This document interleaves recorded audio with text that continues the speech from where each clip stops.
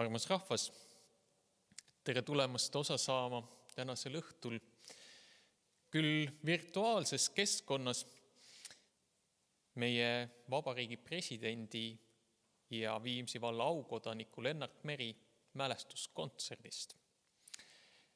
Lennart Meri oli üks äh, isemoodi mees ja tavaliselt tema mälestuskontserti sisse juhatades olen ma peatunud äh, paari tema tsitaadi juures ja nii ka täna. ja need kaks tsitaati pärinevad äh, Hõbe Valgemaa raamatust, mis kõnelevad tegelikult meile väga hästi sellest, milline on elu ja maailm. esimene ütleb meile seda. inimene sureb, kõduneb põrmuks kasvab rohuks, sünnib linnuks taeva alla, astub vaikselt tagasi looduse lõputusse ringkäiku. inimese käsikiri paljuneb, pudeneb tsitaatideks, teiseneb pärimusteks, võimendab või summutab nii lootusi kui ka ootusi. kuid sõna ei teisene rohuks, sipelgaks ega linnuks, vaid jääb sõnaks. sõna võib, sõna võib kuluda ja sõna võib endale leida uue sisu, kuid ta elu jätkub ka pärast sõna ja surma. teatud kombel elavad meie kõrval ja meie sees kõik varem öeldud sõnad ja mõtted inimese kauge koidikuni Aafrika sumisevas hällis. ja teine tsitaat ütleb, kunst on paratamatus. kunst on kultuurigeen, mis iseennast taastoodab ja niiviisi kultuuri kasvatab. ainsat keskkonda, milles inimese vaim saab hingata. usun, et need mõttekillud mehelt, kes tüüris meie riiki presidendina, aga kes on andnud tegelikult meile rahvana oluliselt enamat, mõtiskledes oma teoses meie päritolu ja sündimise loo üle. jah, tema teos on küll ilukirjanduslik teos, aga vahel ongi ju ilukirjandusena palju ilusam ette kujutada kõike seda, kuidas asjad on olnud enne meid ja kuidas nad on kujunenud selliseks, et meie oleme täna siin ja praegu.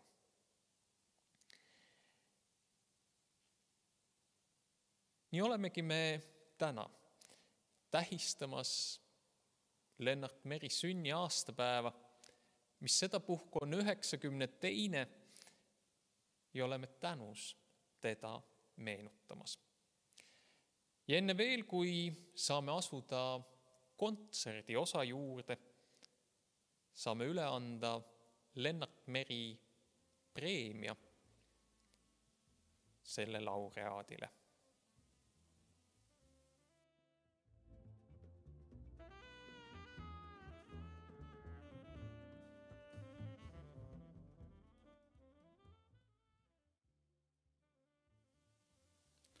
head viimsilased, täna on meie suure riigimehe, kirjaniku, tõlkija, filmitegija, diplomaadi ning Viimsi valla aukodaniku, president Lennart Meri üheksakümne teine sünniaastapäev.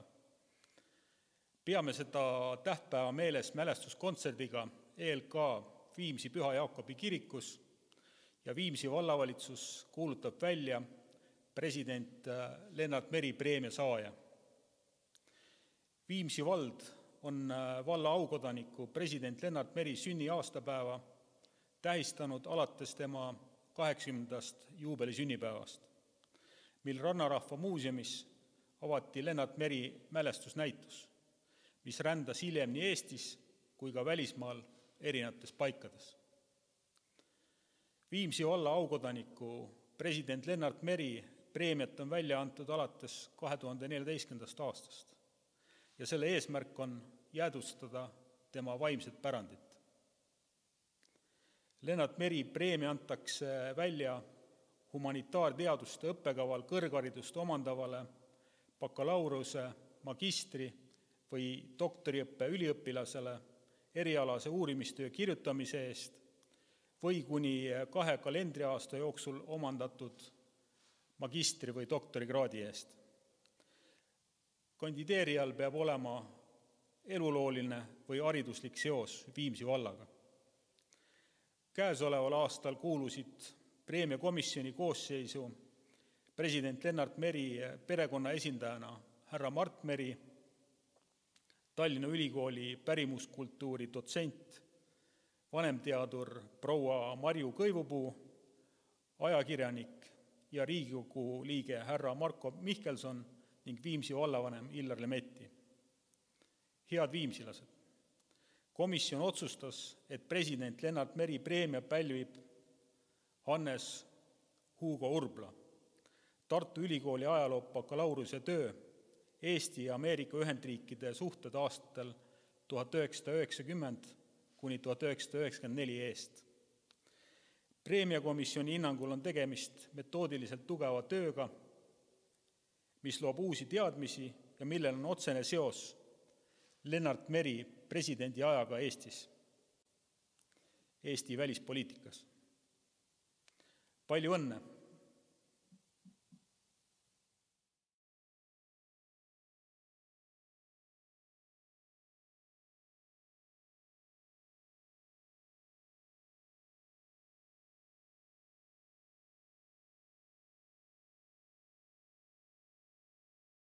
Palun preemia üleandmiseks siia tulla Hannes Hugo Urblal. palju õnne! aitäh!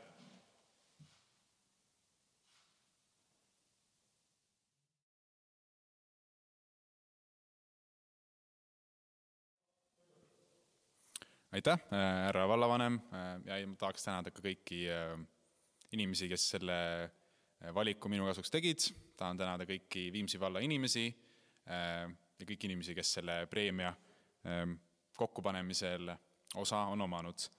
Ma tahaks võib-olla mälestada mm, täna Lennart Meri sünnipäeval, päeval, mil seitseteist aastat tagasi liitus NATO-ga Eesti, Meri sünnipäeval liitusid ka Läti ja Leedu, Bulgaaria, Rumeenia, Slovakkia, Sloveenia.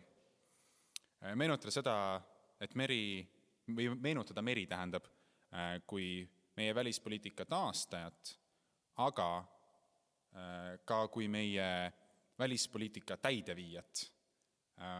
üks asi on suurelt mõelda ja teine asi on olla tegudemees, aga, aga olla mõlemad, see on midagi suursugust, aitäh!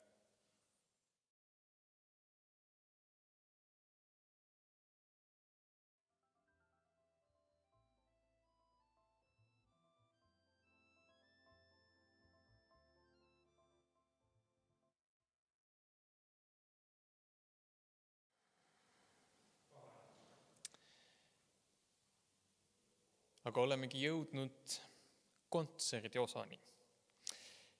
ja kontserdi osaga seoses on vast tark öelda seda, et nii nagu ka enne kuuldud tsitaadis kuulsime kõikide asjade seosest, siis ka see muusika, mida me täna kuuleme, on tegelikult seotud Lennartiga. me kuuleme Villu Veski ja Tiit Kalluste muusikat heliplaadilt Põhjala saarte hääled ja selle muusika seos Lennartiga on päris tugev. sest Lennart on kirjutanud eessõna sellele plaadile ja see muusika on kõlanud ka Eesti suursaatkonna avamisel Saksamaal Lennarti viimasel riigivisiidil aga lisaks sellele muusikale on olemas ka sõnad. ja sõnasid selle muusika juurde kõneleb üks teine tark mees, kellel nimeks Fred Jüssi. ja tema mõtterännakud mere ja metsaga kõrvuti on osa sellest põimikust, mida täna võime kuulda. ja see pärineb Eesti Rahvusringhäälingu heliarhiivist. nii saamegi üheskoos ilusate mõtete ja ilusa muusikaga tänumeeles mõeldes sellele, kust me oleme tulnud ja Lennarti soovi kohaselt kindlasti mõelda ka sellele, kuhu me rahvana edasi läheme Música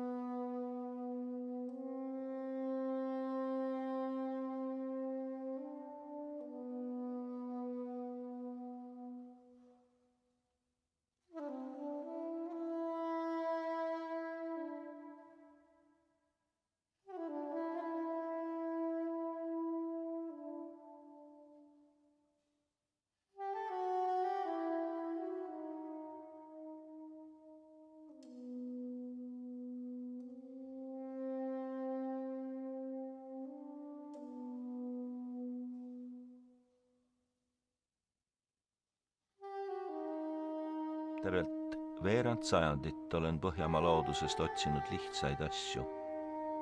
radu inimlike rõõmude lätetele, märke, mis juhataksid neile radadele. tean, need lätted on püsivad, igipuhtad, nad on olemas. rajamärkide saladus seisneb tunnetuses. Need on hetkelised, need märgid. Neid ei saa seletada, nii nagu ei saa seletada hetke mil mull lõhkeb allika pinnal või kostab sõtka tiivavilin kevade öös. ja ei saa seletada sedagi, mis neist hetkedest jääb inimese hinge. hingetäiuse poole ei ole võimalik rännata turismimarsruute pidi. Need on liiga porile tallatud. inimene võib minna vanalinna näiteks, kui ta on linlane.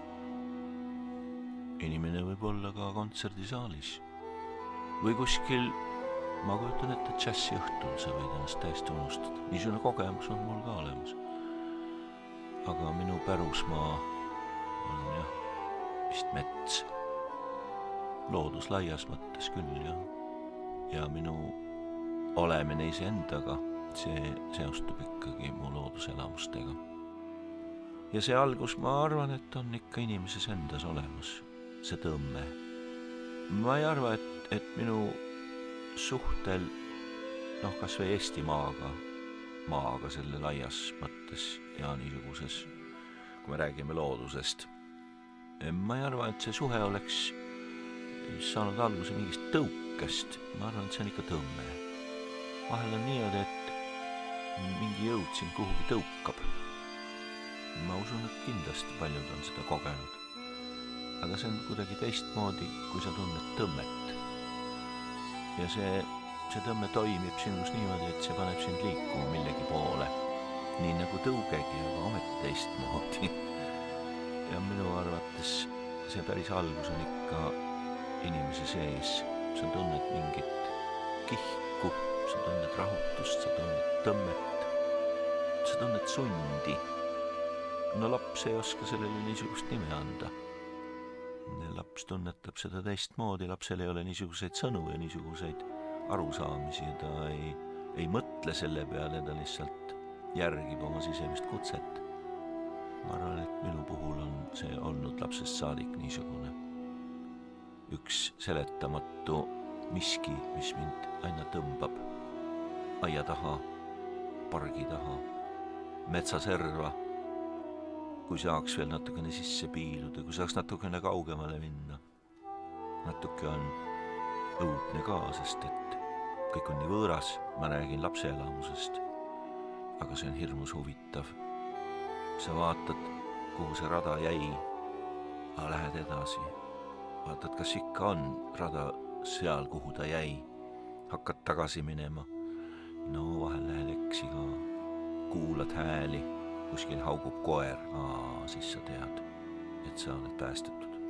noh, ma räägin oma niisuguseid varasemaid kokkupuuteid metsaga. avamaastikul on muidugi teistmoodi, aga minu noh jah, mets on mu kodu vist ikka. mets on mulle kõige lähedasem olnud. ja see suvi on mulle meelde jäänud sellepärast, et ma sain väga palju olla lilledega koos. Inimestega on tore suhelda, inimene suhtlebki inimestega mul on üsna palju kogemusi ka loomadega suhtlemisel, sellest võib-olla me natukene räägime ka tänases jutuajamises, aga lilledega suhtlemine on eriline. no mis ta on, peatükk. ma ei oska öelda, et see on nauding, aga kui ta kujuneb su metsarätkede endastmõistetavaks osaks, siis, siis on selles ka palju naudingut. Lihtsalt istuda ja vaadelda neid. Nad hakkavad sulle vastu vaatama, nii nagu elus paljud. me kogeme niimoodi, et kui sa tema poole liigud, siis ta hakkab sulle vastu tulema. see võib tunduda veidrana, see võib tunduda uskumatuna, aga, aga lilled hakkavad sulle vastama. jaa, ma seda kogesin. vahel öeldakse, no teil on nii palju mõtteid, et noh, jah, no rääkige midagi ikka vahel öelnud, pane kõik oma mõtted ritta ja sa näed, et neid polegi nii palju. see mälu võib olla nurmenukkusid täis või see jõekallas võib olla täis kevadel varsakapju või, või metsaalune sinililli või natukene hiljem ka võsaülaseid, nii et valendab. aga hakkad seda oma otsima sealt, siis, siis see võtab parasjagu aega.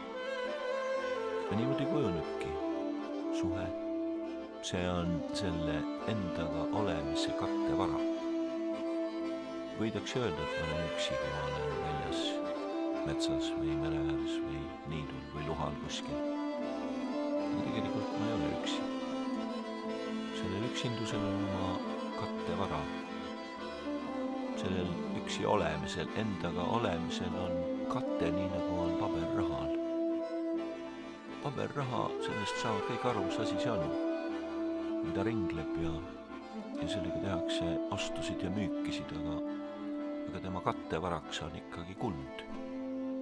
kui tal ei ole katet, siis tal ei ole mingit väärtust. ja sellel endaga olemisel, sellel on samasugune kattevara. selle katteks on samasugune kuld. mõne huvilise kattevaraks võib olla või selleks kullaks võib olla uitamine mõnes vanas linnas kirikute külastamine. ma kujutan ette, missuguseks elamuseks võib olla asjatundjale näiteks vitraažide vaatamine kirikutes. ma nüüd vanuigi olen sattunud ka Euroopasse ringi vaatama ja, ja mind on hämmastanud see rikkus ja see, see meisterlikkus, mis kumab vastu, kui sa lähed kirikusse akendest kui ilusaid vitraaže see täis on, sa võid veeta tunde nende ees. mul ei ole kunagi olnud nii palju aega, aga ma, ma sooviksin seda teha, nii nagu ma istun jõe ääres ja kuulan jõe vulinat või, või olen kuskil metsas ja kuulan tuule hääli puudes ja rohus. Öeldakse, et sa oled see, mida sa sööd ja sa oled see ka, mida sa vaimselt endasse imad, mis on su vaimutoit. ja sellepärast minu arust on Eesti looduse üks, üks niisuguseid kaunimaid hääli on see põlleokste lõõritamine. Neid on veel teisigi. usutavasti midagi sarnast võib kuulda ka näiteks Öölandil, rannaniitudel, ma ei ole seal kevadel olnud, või Öölandi suurel Alvaril. aga need on ju ka meile lähedased alad.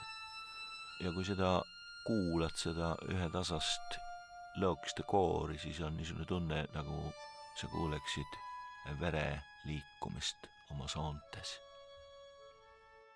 ja ma kuulsin äkitselt kirsiõite suminat. tõin mikrofonid, sättisin nad kirsipuu okstesse ja lasksin siis lindil joosta.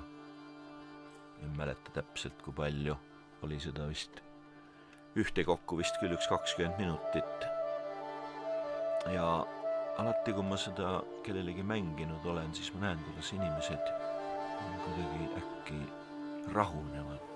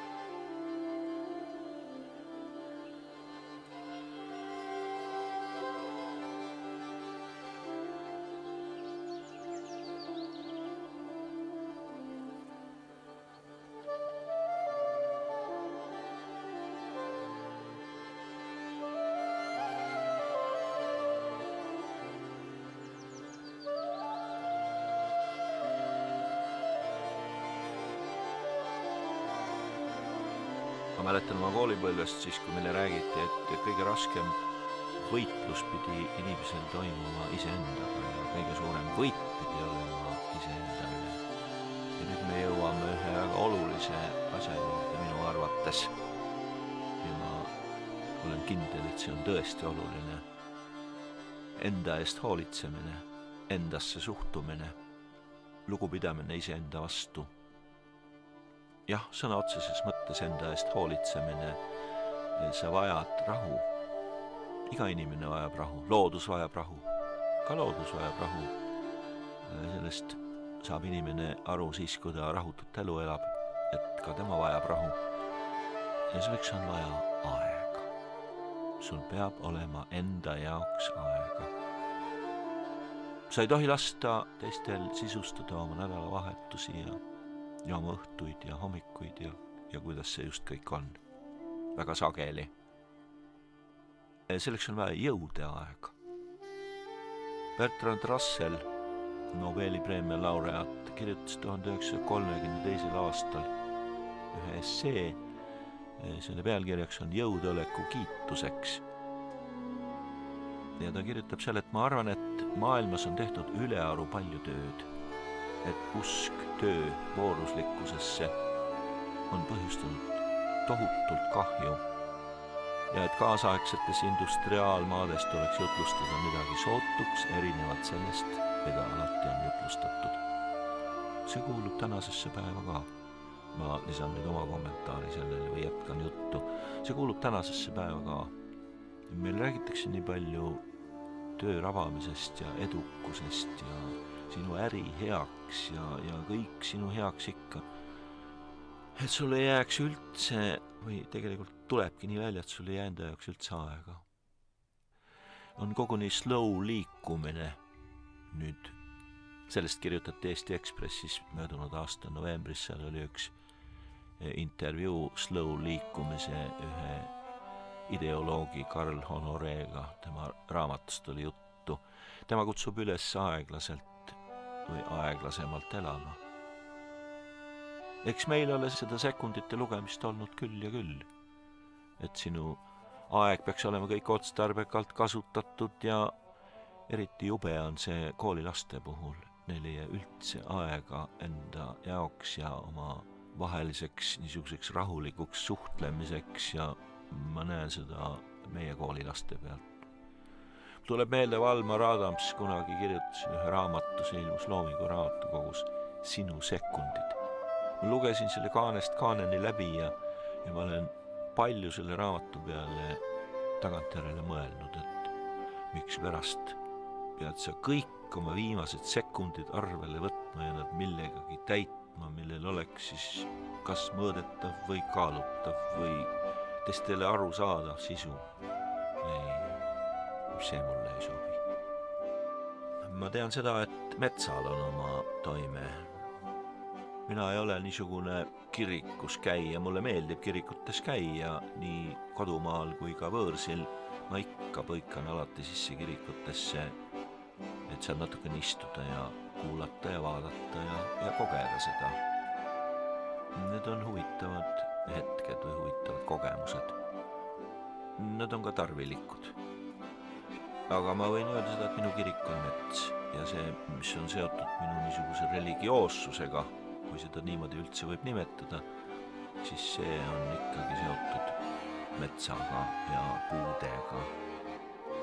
mulle on võõras arusaamine sellest, et, et inimesed ei oska hinnata või nad, nad ei armasta elusaid puid. ma ei ole sellest kunagi aru saanud see on omamoodi metsamuusika, kui sa hakkad tuult kuulama puudes. pärast vaikseid ilmasid on hea, kui tuleb torm või tuleb tugev tuul, ta raputab ja kolistab siibriga ja logistab uksi ja aknaid ja mul on üks mälestus, aga see on ka helipildina. see on Vilsandilt.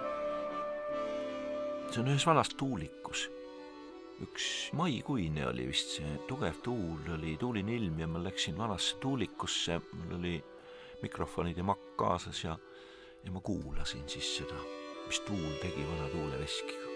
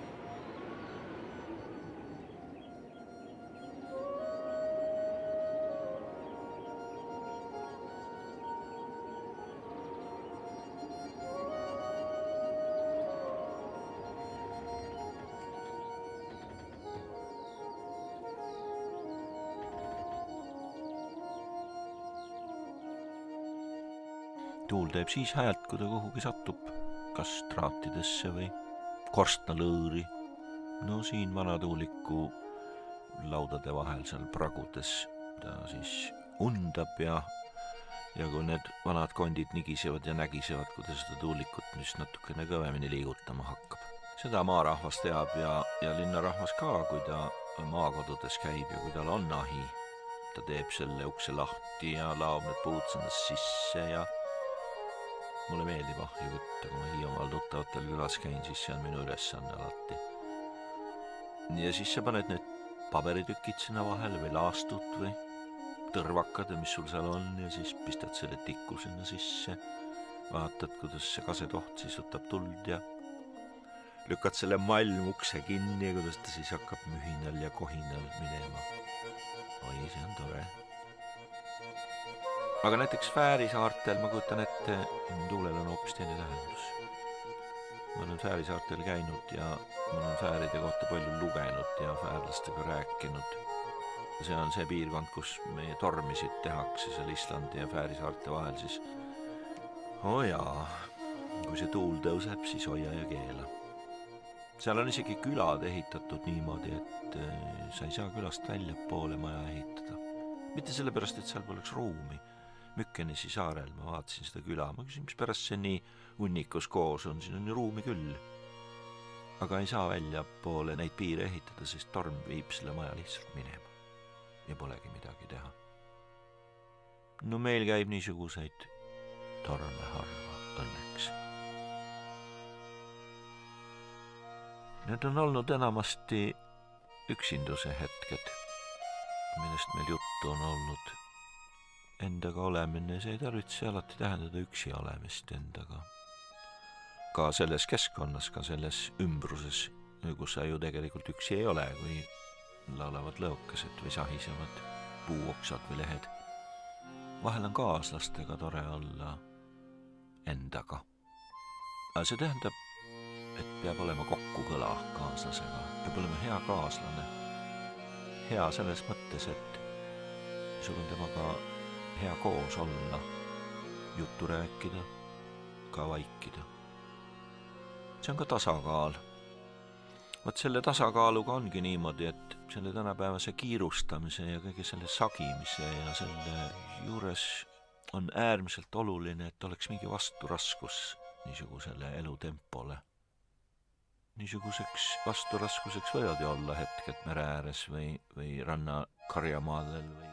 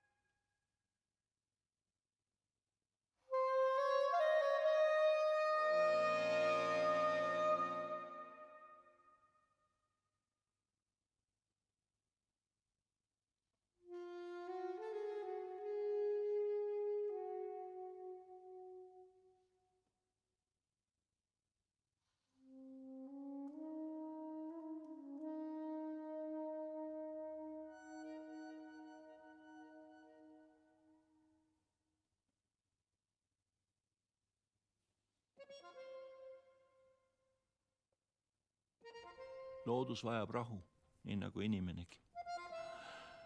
seda me saame kuulata hommikuses vaikuses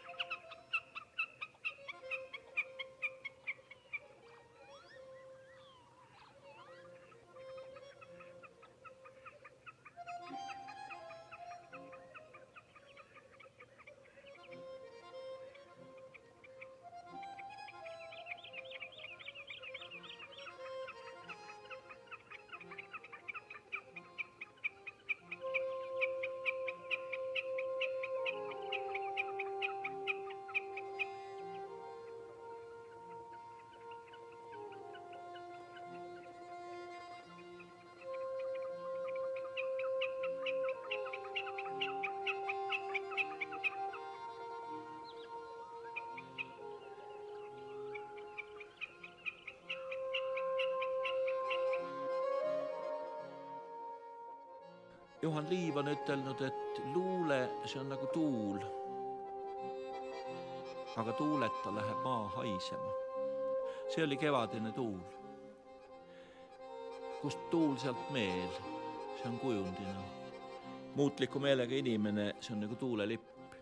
ta võib igasugustele mõjutustele kergesti alluda ja see on väga ilus kujund inimese kohta siis on meie rahvas ja meie maa olnud, mis nüüd on, ajaloo tõmbetuultes.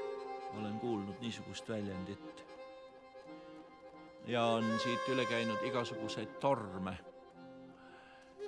kui maastikul liikudes kuulad tuult, siis minule vähemasti meeldib niisuguste kujundite peale mõtelda. minule meeldib ennast asetada jah, kas oma rahva või oma maa rolli või, või ossa ja kujutada ette, mida see tuul minuga just teeb hetkel. olgugi, et ma olen ainult üks selle rahva esindaja ja, ja eesti keelt kõnelev inimene. ma veedan tunde teinekord tuult kuulates, Männimetsas eriti, kui hakkavad koorelibled vibreerima, põrisema tuules siis tekib terve muusika, terve sümfoonia võib, võib sellest välja kujuneda. Ja sellepärast on tuul üks niisuguseid helisid või üks selliseid pilte sellest meie tänases tervikus, millele ma kutsuksin ka kaasa mõtlema kuulajat. tuul võib rahutuks teha, aga tuul võib vahel oma helidega ka väga rahustada. ja rahu on see, mida me kõik vajame eestlane on põlluharija rahvas. see on küll taanlaste rahvuslind, aga eestlane on ikka lõokastega koos elanud põlluharijana. minus tekitab lõokaste koor ja lõokaste laul väga sügava rahutunde, kui ma teda kuulan. ma mäletan lapsest saadik lõokase laulu, kui ema mulle ütles ikka, et katsu see lind taevast üles otsida, pingutasid oma silmi ja olid õnnelikkuse selle punkti sealt ülevalt sinitaevast või pilvede alt, kus ta siis juhtus olema, üles leidsid. hiljem ma mäletan selle lapsepõlve mälestuse jätkuks, seda andis otsida sealt. meie inglise keele õpetaja ütles, et inglastel on selle põldlõukese kohta poeetiline nimi laulev õhk. eestlane on ikka armastanud oma põldu harida rahus ja lõukese laulus on midagi rahustavat ja midagi, mis kuuluks nagu rahuaja juurde niisugune mulje on mul jäänud lõokesi kuulates. Ja selles on natukene vist ka põlluharijat, nagu me oleme, meie rahva saatust ja heade aegade meenutust selles helipildis. ilusat kevadet!